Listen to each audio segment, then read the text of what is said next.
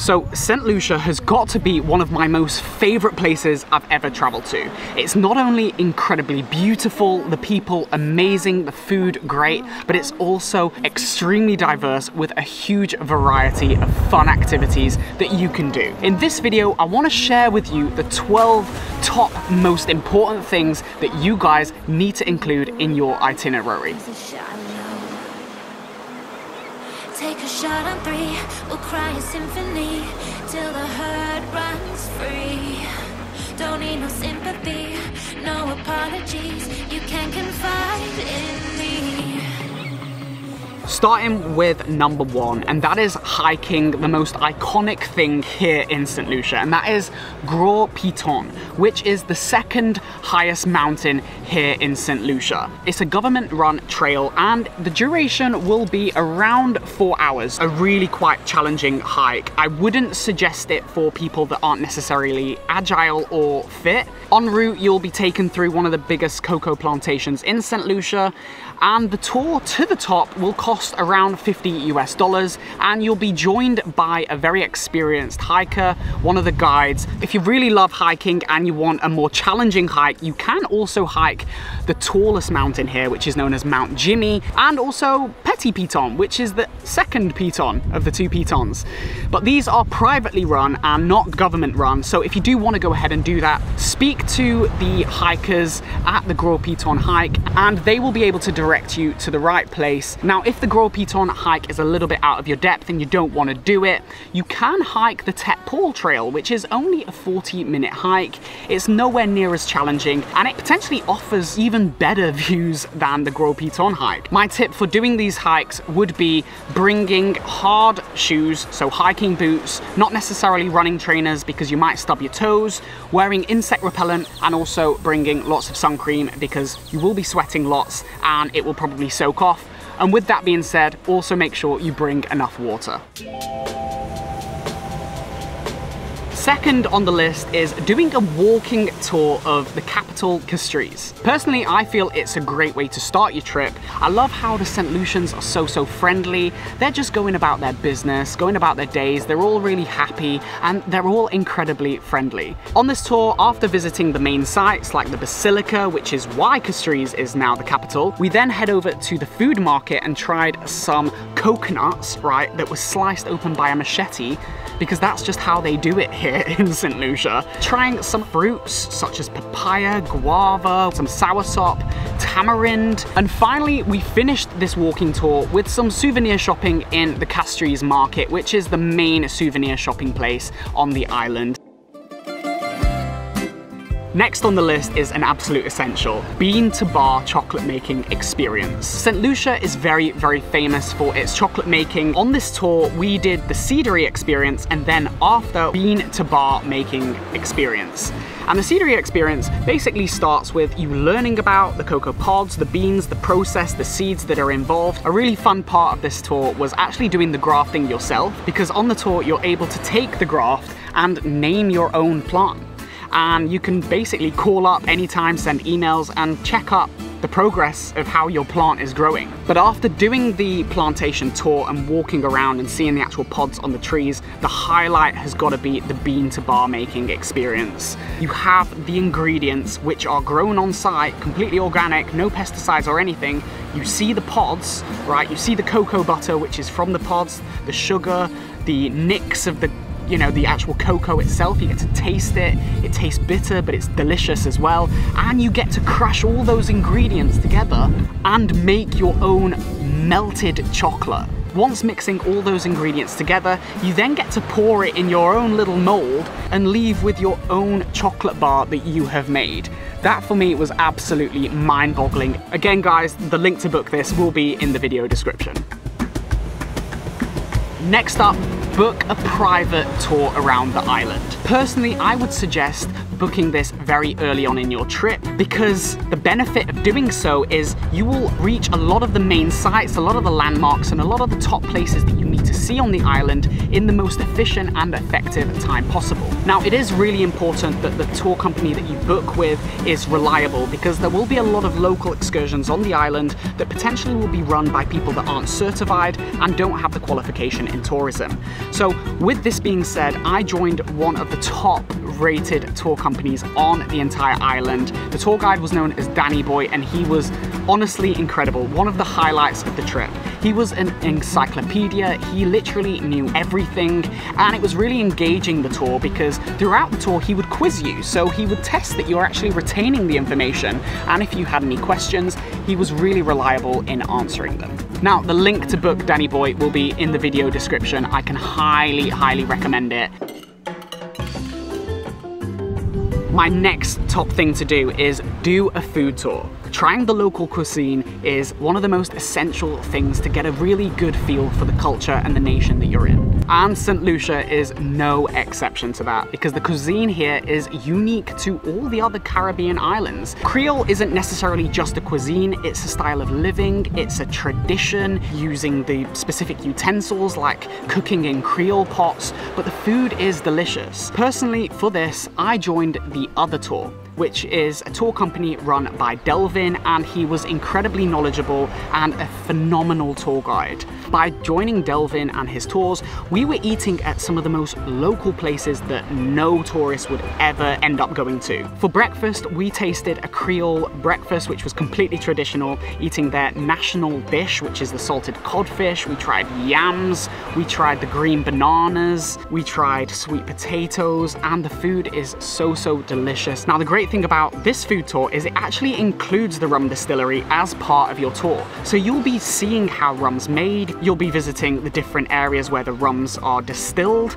and you'll be able to try all the different rums that the island produces. You can just drink as much of the rum as you please, from the most expensive, the Admiral Rodney, to the most common, which is the Bounty rum, which in my opinion is my favorite. We tried cocoa tea, which is made from 100% chocolate. So, so delicious. Now, for me, the highlight of this tour was visiting the Grand Eden Estate. This was a farm which was so, so beautiful. Taking guavas, papayas off the trees and just eating them fresh. We also saw some peanut plants where we picked the peanuts off the plants and ate them out of the pods. We roasted our own cashew nuts and then just ate them. I can highly, highly suggest this food tour. The link to do so will be in the description. Let's go! go.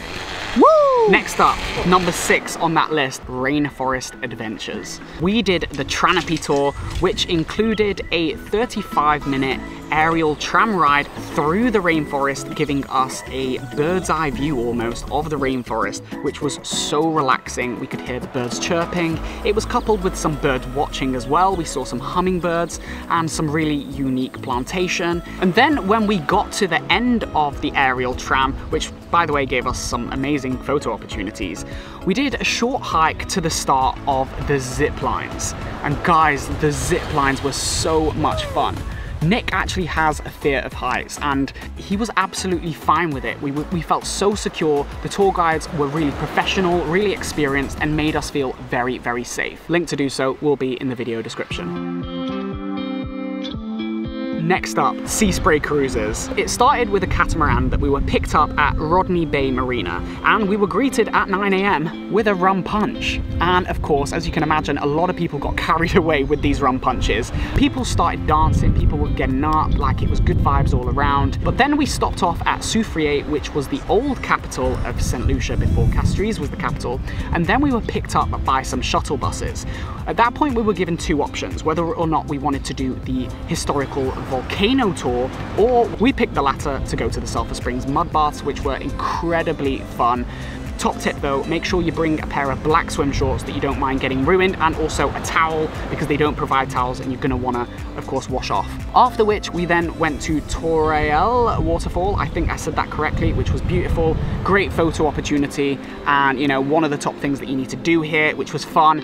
And then we made a stop off at Morne Coubaril Estate, which was where we had a Creole buffet lunch. We got back into the minibuses and were taken back to the catamaran at Soufriere, where we got back on it and were greeted with some more rum punch. The DJ was sick, the music was great, people were dancing, people of all ages were up, like talking to one another. It was just such an amazing experience. But that's not where it ends, because this was ultimately a snorkeling trip. So they took us to Anse Cochon, which is the Pig Bay, I think it's called. We stopped here to do some snorkeling, which was really, really fun. After which, we then took a trip to Marigot Bay, which is that iconic bay. Now, this journey was about an hour and a half back, an hour back, and it was just so much fun. You've got to do this one. Sea Spray Cruises, link to book it will be in the video description. Next on the list, do a Segway tour. It was more of a history tour. We did learn about how, you know, Rodney Bay was named after Admiral Rodney when he won the Battle of Saints, I believe it was in the 1700s. The French and the English constantly battling it out to try and take ownership of St. Lucia. But we were visiting more of the sites that were relevant in the Second World War. A lot of what Admiral Rodney did build was utilized by the Americans in the Second World War. Yeah, again, it was a history tour and you're learning a lot about St. Lucia, but it was just so much fun to be off-road, to be on a Segway. It was just sick. Segway tour, a lot of fun and I can highly recommend it. Link to book it will be in the video description. Next up, number nine, Splash Island. Guys, this was so, so much fun. It's a play area on the sea. It was incredible. If you're a kid, you're gonna love it. If you're a grown up, you're also gonna love it. Spend an hour there. Definitely add Splash Island to your list of things to do. Number 10, we have got doing a horse ride with Sandy Hooves. I am not experienced in horse riding, but doing this tour with Sandy Hooves, you're made to feel so welcome, so safe, because the riders and the trainers are extremely experienced. You'll also be given the opportunity to canter, to trot, to gallop even if you want. But the best part about this is it's just so unique, you know, being able to get on a horse in the Caribbean and walk along the beach. It was such a unique experience and one that I will never forget. We had a short picnic, we had some Prosecco, and it was just lovely to just chill and break up. Do a horse riding tour with Sandy Hooves. You'll have an amazing, amazing time. Number 11 of the top things to do. This is the Gros Islet Fish Friday Fish Party. The locals, the youngsters, all gathering together, cooking food, dancing, good vibes all around. If you're with families and with young children, it might be not the best place to go late at night. Very, very loud music. Very, very crowded as well. I'd probably suggest getting there for around six or seven just to enjoy the good food, enjoy the good vibes. My top tip for food would be go to Duke's. Keep walking all the way to the end and you will see the big smoke and a massive queue. Last but not least, in no particular order, it is eating at some of the best restaurants. Big Chef Steakhouse, and Orlando's. Big Chef offers the best steaks on the island in my opinion. I just had an amazing night there. And Orlando's now, Orlando is probably one of the most famous chefs in the whole of the Caribbean. He's regularly voted as one of the top chefs here and he made his name when he was the executive chef at one of the top hotels on the island, the Ladera Resort. And he has basically gone and created his own restaurant where there is no menu. You go there and you get a five course, so every day he uses completely fresh ingredients that are all local and all prepared on the day. So every time that you go, you'll get a completely unique experience from eating there. And there you guys have it. That is 12 of the top things that you can do here in St. Lucia. So if you were to go ahead and book all 12 of these activities, you would not be visiting the same place twice, but you would be covering everything that you need to do on St. Lucia.